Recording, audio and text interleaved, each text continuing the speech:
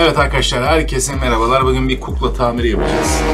Ee, kukla tamiri yaparken kuklayı tabi hırpalamamak lazım. Bunların malzemeleri özel yurt dışından geliyor biliyorsunuz. Şimdi ağzının içi böyle erimiş gördüğünüz gibi. Ben de bantla yapıştırmışım. Ama bu şekilde olmaz. Bu geçici bir çözüm.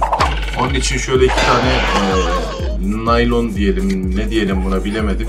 Hani bu afişler, brandalar var ya onun malzemesinden kestim.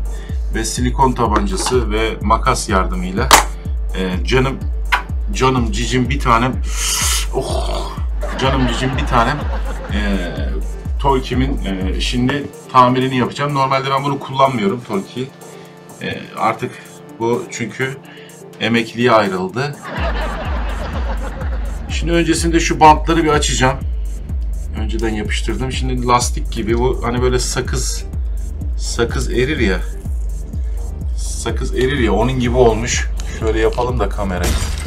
Evet siz de görün. Evet şöyle sakız gibi olmuş. Hemen dikkatli bir şekilde çıkartmam lazım.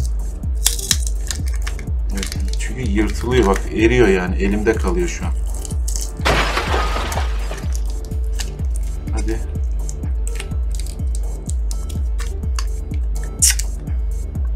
Vallahi çıkacak gibi değil. Çıkmıyor. Ben çıktığı kadarını şöyle keseceğim. Ben bunu bantlamıştım. Vitrinime koyuyorum ben bunu. Baş ucuma. Görüyorsunuz nasıl yaralandığını. Tabi yıllar geçmiş. Bu 10 senelik 10 senelik emektar bu. Merak etme kardeşim yaşayacaksın. Yaşayacaksın. Dayan, dayan. Evet, şimdi Evet, kestiğim şu brandalar böyle mavi renk olursa daha iyi olur. Çünkü ağzı da mavi olduğu için. Şimdi köşeler tutmayabilir. Köşeler onun için şöyle yuvarlak yapıyorum. Lan kalp şeklinde yaptım ya. Şuraya bakar mısın? Bunu alta yapıştıracağım şu şekilde. Onun için burada silikonumuzu eritmiştim ben. Evet, şu an erimiş hatta eridi, eri, eri, erimiş bir de kurumuş bile yani. Ya arkadaş sen ne çabuk kuruyorsun ya. Çok hızlı olmam lazım çünkü dediğim gibi bu çok çabuk kuruyan bir şey. Hemen ağzına yapıştıracağız arkadaşlar şurasına. Şu şekilde. Şöyle. Heh. Evet. Alt kısmına. Sıcak elim yandı ya. Dediğim gibi yani zaten ben kullanmayacağım bunu ama yine de sevdiğim için. Şu da yine üst kısmına gelecek şöyle şu şekilde. Evet bunu da yapıştıracağım şimdi. E şimdi bunların üzerine yaptım. Ee, süslemesini yapacağım.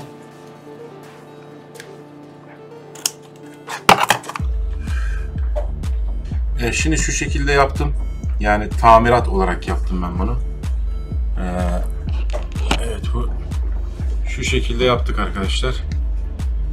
Görüyorsunuz. Çünkü buraları erimişti ki sizin de eğer kuklanız varsa bu malzeme ne yazık ki belli bir zaman sonra eriyor. Şimdi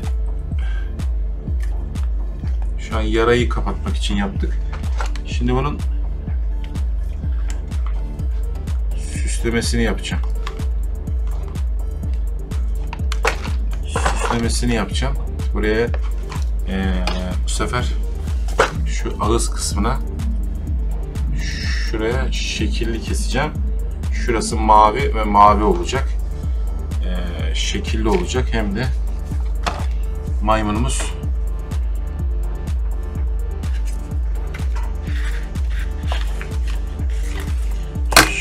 Bu süsleme için şöyle bir kalıp getirdim. Şöyle kestim bunu. Bunu da buraya koyacağım.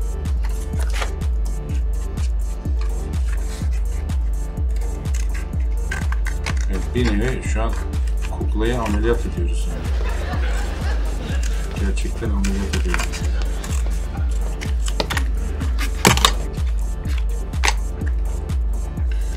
Evet, şu an alt kısmına aslında gerek yok. Kısmı olmuş yani. Bence. Şu fazlalıkları keselim.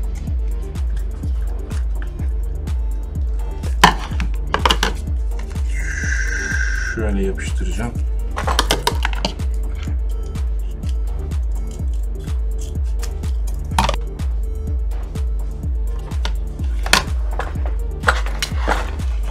Şimdi üst, yapıştıracağım. Üst kısmına yani yapabildiğim kadar yaptım. Silikon tabancamın da tetiği bozulmuş. Basıyorum yani.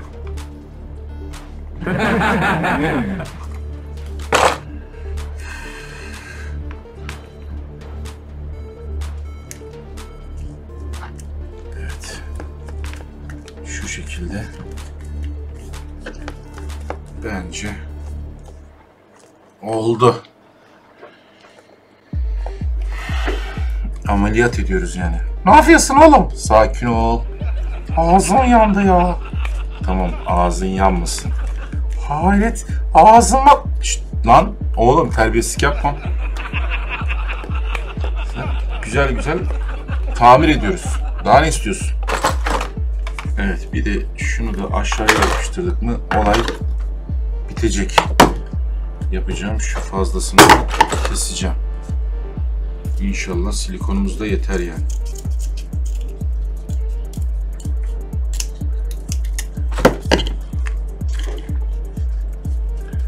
Evet.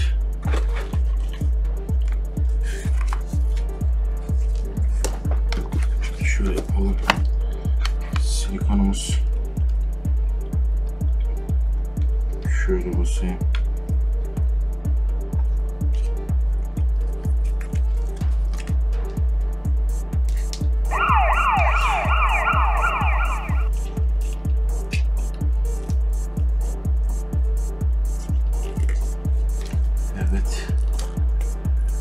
Şu şekilde.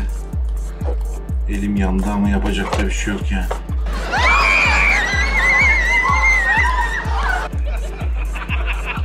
Her şey sanat için.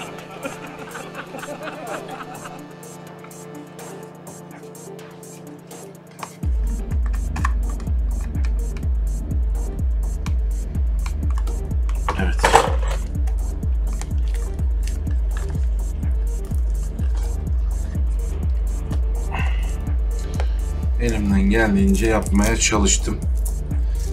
Tamir etmeye çalıştım yani.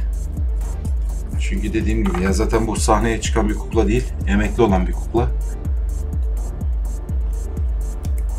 Ama benim için değeri büyük, maneviyatı büyük. Benim ilk göz ağrım, ilk kuklam Polki. Onun için onun böyle ağzının, gözünün yamuk yumuk olması beni üzüyordu. Tamir ettim şu anda. Ya bunu yapıştırıcıyla da yapabilirdim ama böyle silikonla daha sağlam olacağını düşünüyorum. Evet. Şu an için yeterli bence. Oldu. Şimdi elimizi, kolumuzu, üstümüzü temizleyelim.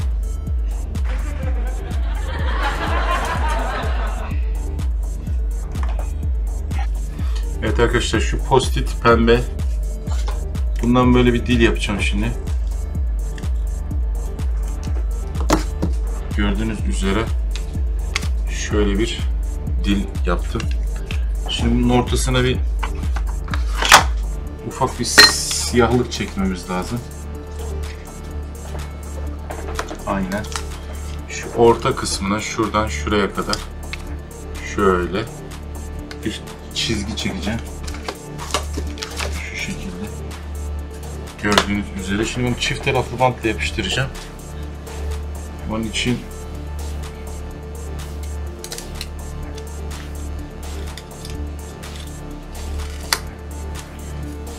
şu çift taraflı bantın ortasına yapıştırmamız lazım.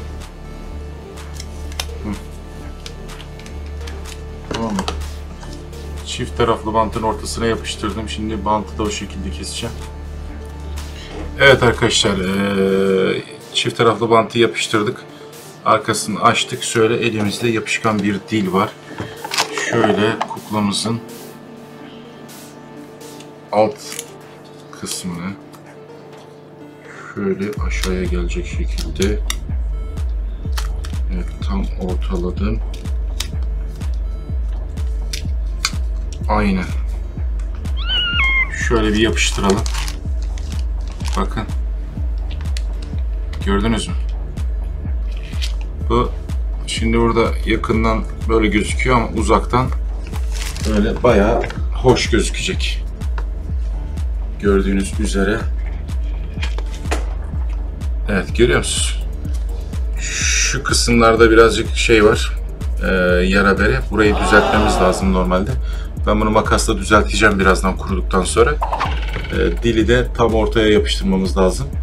Ee, bence güzel oldu.